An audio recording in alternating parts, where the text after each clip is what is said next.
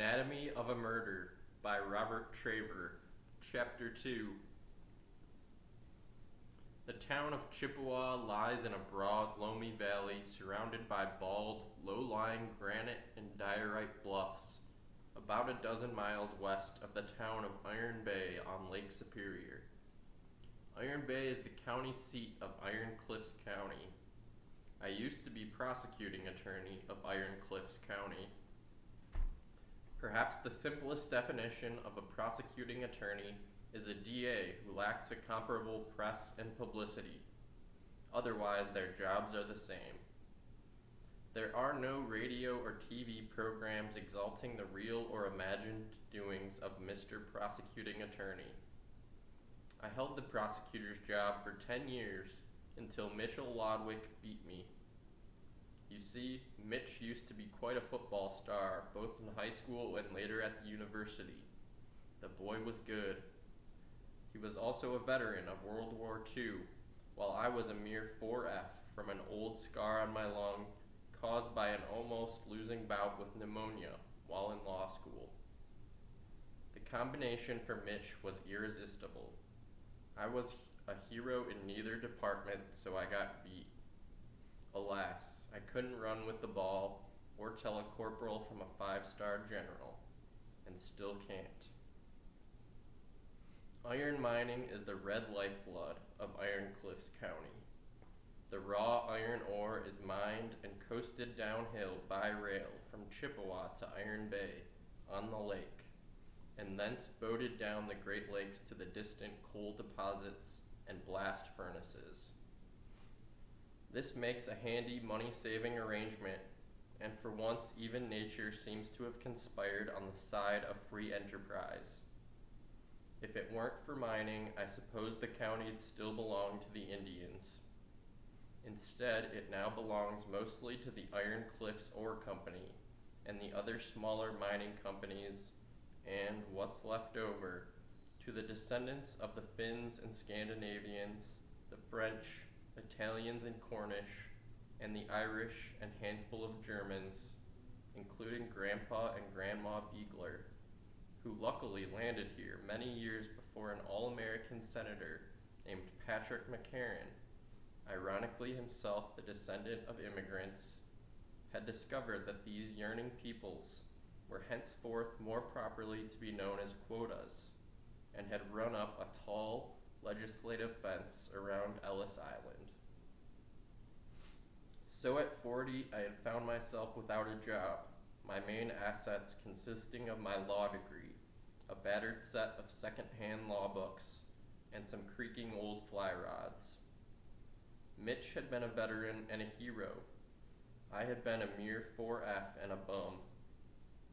For quite a while, I was pretty bitter about being beaten by a young legal fledgling who hadn't even tried a justice court fender case when he knocked me off.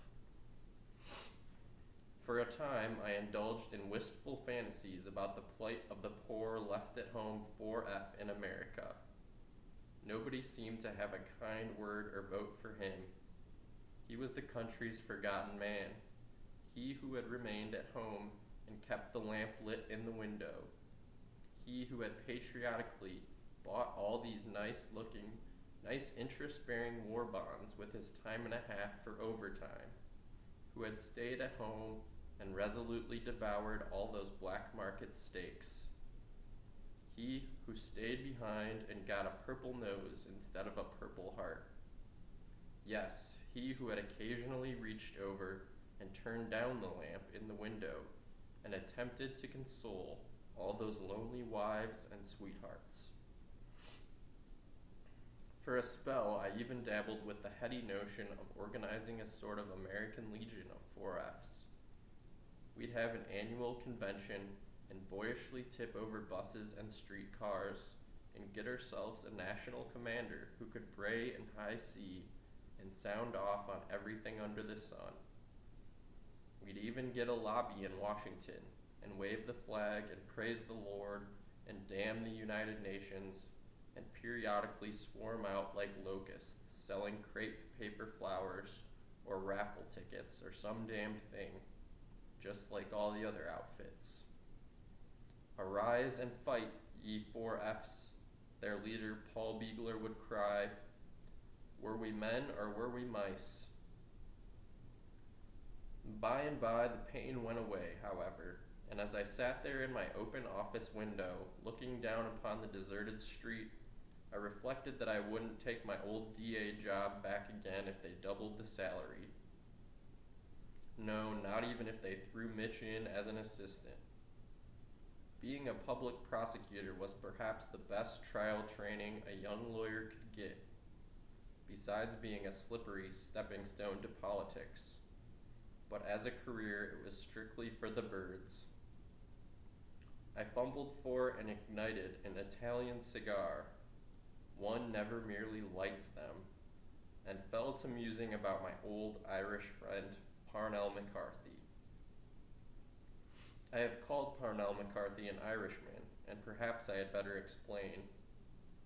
In the polyglot Upper Peninsula of Michigan, calling a man, say, an Irishman is rarely an effort to demean or stigmatize him. Black eyes lie richly strewn that way, but rather an effort at description, a painless device for swiftly discovering and assessing the national origins of a person's ancestors to the simple end of getting along together. Offense is neither intended nor taken. Thus, a man named Millie Mackey is generally known and indeed more often describes himself as a Finn, though his mother may have been a Cabot, and his ancestors on both sides have fought at Valley Forge. And thus a Biegler is hopelessly stamped a German, as often called Dutchman, though some of his ancestors may alternately have toiled and prayed in the leaky galley of the Mayflower. so Parnell McCarthy was an Irishman, though he was born in the shadow of a mine shaft in Chippewa, and had once possessed, so my mother Belle had told me, one of the loveliest soprano voices of any altar boy in the history of St. Michael's Parish. Parnell's Irishness lay more in certain word patterns and in the subtle lilt and cadence of his speech than in any vaudevillian Erin go bragh, Mr. Dooley talk.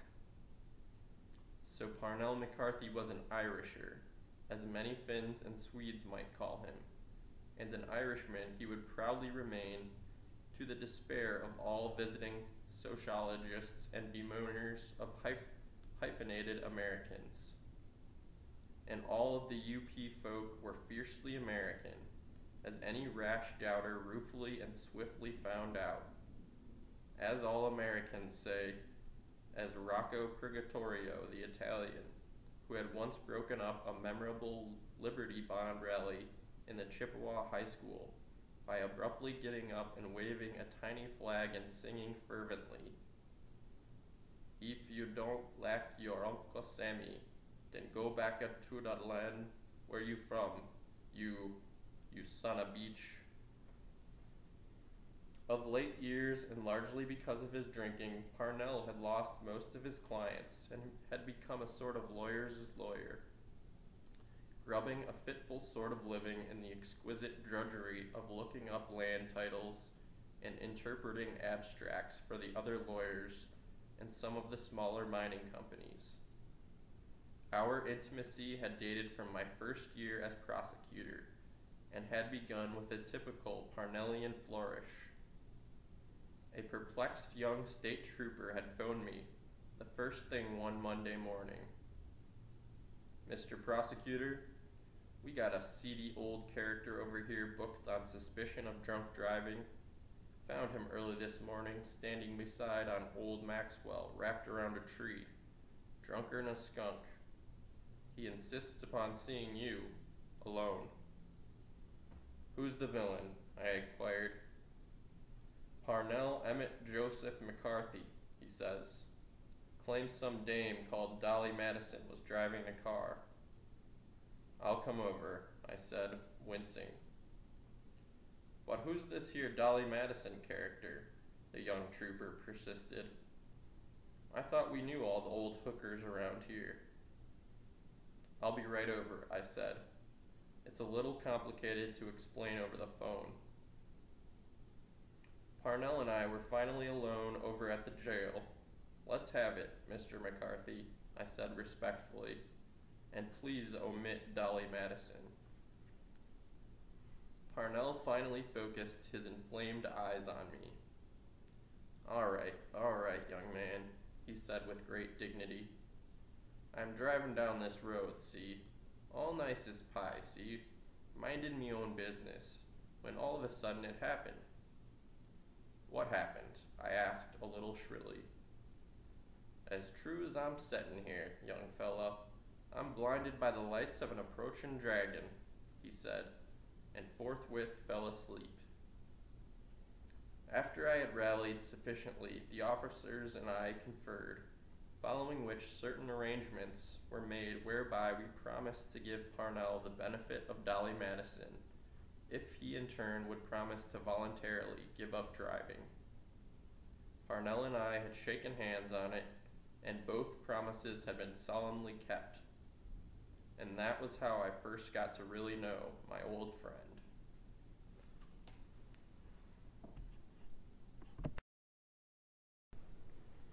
I remembered that it had been Parnell who had kept the lonely vigil with me on my last day as prosecutor on that blizzardy day before New Year's, nearly two years before.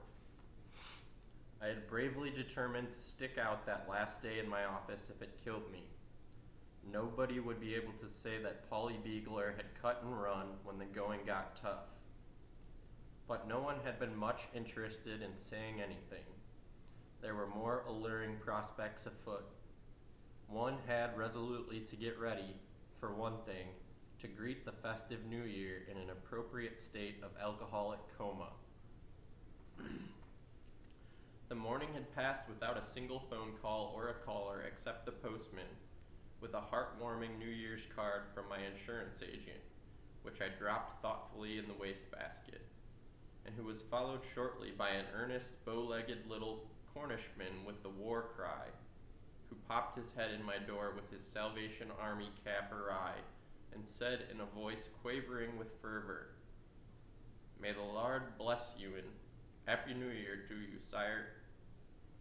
Ah, Happy New Year to you, General Booth, I croaked morosely, feeling very noble and very sorry for myself. Please take the typhoid sign off the door as you leave. Typhoid sign. Typhoid sign, the general murmured, mystified, as he picked up his weekly quarter and fled. I grinned evilly at my framed law school diploma on the far wall. I was learning the hard way something that people who have never held public office can perhaps never, never adequately realize the feeling of utter forlornness and emptiness that sweeps over a man when he is finally beaten at the polls. And the longer he has been on the job, the worse, not better, it is. This morbid feeling is beyond all reason. It is both compulsive and a little daft. One's last friend has deserted him. The entire community has conspired to ridicule and humiliate him Everyone is secretly pointing the finger of scorn and hate at the defeated one. All day long, desolation was mine, and I wallowed in it. By mid afternoon, I sighed and pressed the buzz- buzzer for Maida. I thought maybe you'd taken the gas pipe, Maida said cheerily as she came in all pert and sassy and shook out her curls and plumped herself across from me with her stenographic pad and a battery of stiletto sharp pencils. Are you about to dictate Biegler's farewell address? I laughed, hollowly, I hoped, and slid a winkled $20 bill across the desk. No dictation, Maida, rather an errand of mercy. Go over to the liquor store and fetch me a fifth of my favorite pile run. If Socrates could have his hemlock, I shall have the solace of my whiskey. I waved benignly and looked out at the howling blizzard. Buy yourself a new roadster with the change. Take the rest of the day off to break it in. I'll hold the fort. That's the old fight, boss, Maida said, rising. Such lonely courage is touching. The boss and his faithful body. Whiskey for Captain Biegler's chilblains as he stands alone on the bridge and goes down with his ship. His last words were, Saw sub, glub glub. Maida had been in the WACs, and she gave me a smart salute as she made ready to go. Pile it on, Ma- Maida, pile it on, I said. None but the lonely heart shall know my anguish, I quoted stoically. Don't forget in your travail, boss, Maida said, that the voters of this county have bought and paid for an elegant 10 year graduate course in criminal law for you, and all for free. Where's your gratitude? Just think, for defending just one big case now, you can get almost as much as you got for prosecuting criminals for an entire year. And no more legal freeloaders on your neck reminding you that, yes, I pay my taxes.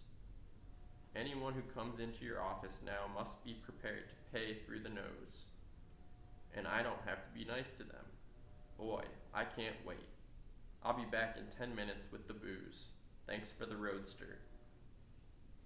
Sensible Maida was probably right, of course, as she has an irritating habit of being, and I saw that my main trouble was not so much that I would shortly be an ex-DA, but rather the blow to my pride in losing the job to an amiable young fellow barely out of law school, one who didn't know a bail bond from a bale of hay. Why not face it? I was smarting, largely because I hadn't been smart enough to quit as the retired champ, like Rocky Marciano, but instead had gone to the well once too often, like good old Joe Louis, and had finally, like Joe, been knocked out by an inexperienced newcomer. A newcomer inexperienced in everything, that is, but youth. I had sat listening to the howling wind and wondering what had happened to Maida and my 20 bucks when I heard a knock on the door. It couldn't have been Maida because she would have characteristically railed and shouted and pounded or else used her key. It would doubtless be some thoughtless character who'd lurked all day in some tavern, polishing his nose, and then come to gloat over the fading DA. Lord, it would be good to at last get away from that servitude the thoughtless headlong rush of the great aggrieved multitude. Well, I'd show him what an alert, on the ball public servant he was losing. I moved over and opened the door. There stood my old Irish friend, Parnell McCarthy, another Chippewa lawyer, covered with snow and gently drunk. He was holding a damp brown paper bag, top and bottom, balancing it delicately as though it contained a piece of priceless statuary. With his bulbous red nose and twinkling gray eyes, he looked faintly like an erring Santa Claus. He also smelled very good. Ah, good afternoon, Paul, he said gravely in his wheezy voice, with its trace of Irish accent, in which the Paul rhymed faintly with all. He moved into the room with his bumpy, dignified walk, talking all the while. I come as courier, not a Greek bearing gifts. Met Miss Maida at the foot of the stairs just as I was coming up. She asked me to deliver this. This here now packaged to you. He studied the bag. Haven't the foggy, foggiest notion what it might contain. That I have not. He shook the bag and listened. Though some mild curiosity, you will observe. He blinked his eyes and shook it again, smiling craftily. Well, now maybe I've got a dark suspicion, or perhaps a wee intuition there, he said, placing the bottle on the blotter in the middle of my desk, his plump hands hovering solicitously always glad to be of service to an attractive young woman. He surveyed the paper bag and shook his head. Perhaps a farewell token of esteem from one of your desolated constituents, he ventured. And then again, perhaps a cabbage. Who knows? I grunted. Suppose the courier takes a peek in the bag, Parn, while I go get some water and glasses. And whatever you find, uncork it. As I stood at the corner washstand in Maida's room, letting the water run cold, I heard old Parnell rattling the bag. His squeals of simulated surprise and his sighs of wild delight, which I suspected were not quite so simulated. Oops! My, oh my, may the Lord save us. Tis a bottle of spirits, that it is. What a remarkable coincidence. And me just ever after craving a little snort. What a fine gleaming thing it is, too, An old Parnell McCarthy just in time to have a ceremonial drop with his old friend and colleague, Paul Biegler. Ah, tis a small world, that it is, so full of delightful surprises. The old boy is really wound up, I thought as I stood in Maida's doorway, silently watching him. He was holding the bottle up to the light now, humming the Kerry dance, executing a few steps of a grave little dance, chuckling softly to himself. At that moment, I envied the man, for Parnell McCarthy possessed that rarest and most precious of human talents, a talent so elusive that it receded only the faster before those who wooed it with more gadgets and toys. The capacity for participation and joy, the enviable ability to draw vast pleasure and enjoyment from small occasions and simple things. For all the old man's show of cynicism, he possessed the sense of wonder and soaring innocence of a small boy flying a kite. Ready or not, Parn, here I come, I said. I filled the jiggers, making a highball out of mine, while old Parnell stood watching the proceedings as rapt as a child on Christmas morning. He took his jigger in one hand and water glass in the other. He leaned over my desk and ceremoniously touched my glass with his, spilling never a drop. Here's to one of the best prosecuting attorneys Iron Cliffs County ever had, he said softly. And here's to a brilliant future for her newest criminal defense lawyer. I shook my head in wry disagreement.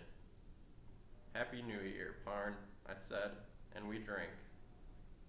Parnell, as always, took his whiskey straight and followed it with a quick gulp of water. For a man suffering from chronic arthritis and a little drunk, too, I thought the movements were incredibly swift and dexterous. But then I reflected the man had had years and years of practice. Practice, in fact, was Parnell's big trouble. For here was probably the smartest lawyer I ever knew, both the smartest and least successful. Ah, Parnell said, smacking his lips. Tis a fine concoction. For peasants bent on extinction, that is. Parnell and I then talked of many things, past, present, and future. As he usually did when we were alone and feeling mellow, he had spoken briefly and tenderly of his wife Nora, who had died during childbirth many years before. Old Judge Maitland had told me that Parnell had never been the same after he'd lost his sweet Nora. After a long silence, I had asked Parnell what he thought of my prospects for taking any criminal defense work away from old Amos Crocker, the county's leading criminal lawyer. Do you think there's a chance? I repeated. My question about old Crocker was not idle. Amos Crocker was a spread eagle lawyer of the old school who lived and practiced in Iron Bay, the county seat. Ever since I was a kid, he'd been stomping around in and out of court, florid and perspiring, a roarer and fighter from hell. He'd been a constant thorn in the side of my predecessors in office, and by the time I became DA, the only noticeable change in him was that he'd lost all his hair and had acquired a red wig. From Weber or Fields, I suspected, and a hearing aid, along with a reputation for professional infallibility that was legendary. Humph, Parnell grunted, shifting in his chair, and, I hoped, pondering my question. Old Crocker was known more familiarly to the rest of us lawyers simply as the voice, or else Willie the Weeper. Besides his booming bass voice, tears were the secret of his success. He wept his way through every trial, and for many years sniffling. Lachrymose jurors have been rewarding him and his amazing tear ducts with verdicts of acquittals. He was said to set his fee by the amount of tears he shed, and by the time I had first tangled with him as a young DA, his rate was reputed to have been $500 a pint. And he seldom contrived to weep less than half a gallon. Polly, Parnell had finally said, leaning forward against my desk on his forearms. On any comparative assessment of the relative legal ability and general intelligence between you two, there'd be no question but that old flannel mouthed Willie the Weeper'd never get another criminal defense. He shook his head. And that's no great compliment to you either. Why, that flatulent old windbag, he went on. He's like an old time Chautauqua lecturer addressing a full tent. All he does is roar and splutter and bawl. In my considered judgment, he's a dummy and a faker. He's a man of few words, yes, but he uses them over and over. When he gets through arguing to a jury, when at last the relentless torrent of his stout boilerplate rhetoric is turned off, all the judge, the jury, his client, opposing counsel, all are reduced to a state of cata- cataleptic trance. I said arguing his cases. I take that back. He never made a real jury argument in his life. All he conducts are filibusters. That's how he wins the cases he does, with that and his crocodile tears. Parnell was warming to his subject, and he stood up. Can't you just hear him carrying on in front of a jury, Polly? Pointing with pride and viewing with alarm. You know yourself he's got only one stock jury argument in a criminal case, and he's been using that for almost 40 years. Listen to him. Parnell had an unusual gift for mimicry. He hunched up his shoulders and blew out his cheeks, and in a thrice an indig- indignant old Crocker stood before me, even, it seemed, to the flaming red wig. He pointed a scornful finger at an imaginary panel of jurors. Ladies and gentlemen, he thundered, you can't guess this man in state's prison. Why, folks, I wouldn't send a yeller dog to a dog pound on this here evidence. Parnell grinned and became himself again. Surely, Polly, you recall those deathless phrases. I nodded glumly. Yes, Parn, I know them all by heart. Parnell reminded me that old Crocker had defeated me only once in the past six years. In fact, the biggest thing he held against the colorful old practitioner was his colossal stupidity. All that man really knows anything about is common arithmetic. He sets big fees and gets them. An examination of the motives that move people in trouble to select the lawyers they do, Polly, would probably fill a five foot shelf, Parnell continued, more slowly. Not to mention an insane asylum. You see, the guiltier they are, the tighter their fix, the more apt they are to hire a fulminating old fire eater like Crocker. Don't you see? If they must ultimately go to prison, as some of them must dimly suspect, they want to go down with colors flying. They want desperately to be sent there under the best auspices, on an expensive tour conducted by a hired professional mourner, as it were, roaring and fighting on their behalf. It somehow seems to restore their wavering self respect, to bolster them to face the ordeal of their confinement. Very interesting, Parn, I said, nodding. Only Parnell could have doped it out this way. Parnell shook his head. In any case, Polly, I've watched this dreary business for many years, too damned many years, and it seems to me that most people in trouble tend to equate clamor and noise with astute criminal defense. It's a sad thing. What the Lord save us, it's not only confined to the law. There is a kind of intellectual smog abroad in the land. In nearly all walks of life, we betray our insatiable lust for the mediocre, our terrible hunger for the third rate. You don't suggest I try to imitate old Crocker, I said. Tears and all? I can stick a bean in my ear, of course, but I doubt if I could ever find another red wig to match his. Anyway, I'm rather afraid the only person a wig deceives is the wearer himself. I felt my receding hairline. I know, Parn, I said, because lately I've been faced with the problem myself. Imitate that old fraud, Parnell snorted. Hell no, Polly. You shouldn't have said that, boy.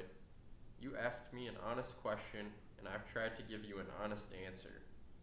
Or did you prefer me to rub your back with this here horse liniment we're after drinking? I'm sorry, Parn. I didn't mean it that way. Talking about liniment, let's have a drink. Here's mud in your eye. I filled his empty jigger. Parnell stood up and leaned over and clinked my glass. Perhaps the surest way for you to break in, boy, is to get a big case, somehow, some way, and then win it. Show the bastards how a criminal case should really be defended, with the head and the heart instead of the arms and lungs. But you got to get and win that first one. Ah, there's the rub. Everybody understands success, especially when it's shouted from the front page of the papers. In the meantime, it's going to be tough, boy, but keep your chin up, Polly, and your sights, too. Parnell gulped his drink and his water, one, two. I shuddered involuntarily and walked resolutely to the door. I'd like to stay and condole with you, Polly, he said, shaking my hand. He pulled on a pair of dark cotton gloves, the kind that workmen buy at corner groceries. You know I'd like to stay and heist a few more with you and keep the vigil, but I I've got to get home and take me a little nap. I'm attending church late tonight, my annual visit, you know. And perhaps it's only fitting that such a poor communicant as I should turn up at least halfway sober. Good night, boy. Happy New Year and good luck. I stood in my open doorway and watched him walk with dignity to the head of the stairs. He did not look back. I heard him creaking down the wooden stairs, and I stood there until I heard the street door squeal shut on its frosty hinges. Then I went back and sat at my desk and poured the remainder of the bottle into a tumbler. To Parnell Emmett Joseph McCarthy, one of the world's obscure great men, I whispered, downing my drink. Parnell had been right. After the first of the year when Mitch Lodwick had taken over as DA and the County Road Commission trucks had transferred the last load of accumulated loot from my office to Mitch's, things uh, turned out pretty much as he had predicted. All the important and lucrative criminal defenses still went to weeping, bull roaring old Amos Crocker. There was this important difference and one which only made matters worse. Worse for me, that is. Old Crocker began rather regularly to beat Mitch in his criminal cases. Not in all of them, of course, but in most. The net result, naturally, was that the old man became even more firmly entrenched, entrenched as the county's leading criminal defense lawyer. Since, in the meantime, I had occasionally to eat and pay Maida, I finally found myself messing around with divorces and padding discreetly into probate court to assist in whacking up decedent estates between the various taxing authorities and the surviving loved ones. Now, there is nothing professionally wrong with a lawyer pursuing a divorce or probate practice, and several things that are right, but there was little or nothing in this practice that drew in the slightest upon my long training in criminal law. I found that the work was placid, moderately lucrative, and safe. But after the drama and conflict of being DA, I also found it to be boring and dull, infinitely and wildly dull. During that time, the only circuit court criminal defense that came my way, I got by court appointment for an impecunious defendant, a young camp breaker with a record as long, well, as long as his face and mind following his conviction. I'm afraid my defense of this case was somewhat less than brilliant. My heart wasn't in it. In fact, I think I saw several more reasons why he should have been convicted than even Mitch or the jury did. I stirred in my seat by the open office window. A cool breeze had risen, the first touch of approaching autumn, and I closed the window and groped my way to the bedroom. So bored and restless had I lately become that I had announced that I would run for Congress that fall. Things had become that bad. But boredom seemed as good a reason as many I had heard for any, anyone wanting to go to Washington, that grand central station of American politicians, about which, as Woodrow Wilson had once wryly observed, in Washington some men grow, others merely swell. I had few illusions about the job, and none about my statesmanship, but at least in Washington, if I got there, I could occasionally shout and wave my arms, and perhaps, who knew, chase the daughter of some foreign ambassador round and round the mulberry route. Or would it be those conveniently chameleon Japanese, Korean, Japanese cherry trees? Then Mitch Lodwick had announced that he would oppose me for Congress on his party ticket. But now it looked like we might first meet in the trial of a bang up murder case. The chips were down. Once again, the young veteran and the aging 4F were to collide head on. Go to bed, Biegler, I thought, yawning prodigiously, for tomorrow may be your first big murder case.